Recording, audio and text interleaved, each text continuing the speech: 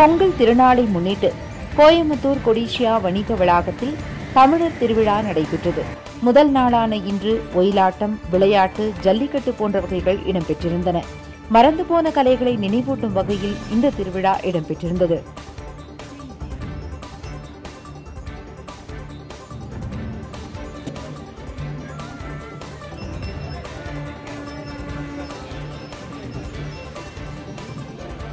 திருவிழா இங்கே கொடிஷா கிரவுண்டில் நடக்குது.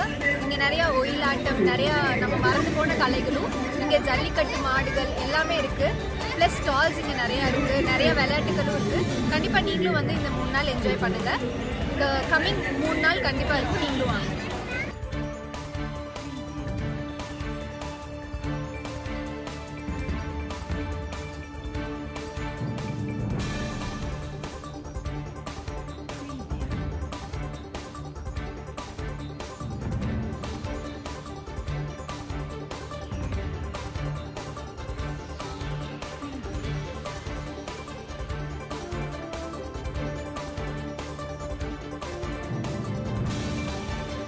இதை ஏராளமானோர் கண்டு ரசித்துச் சென்றனர்.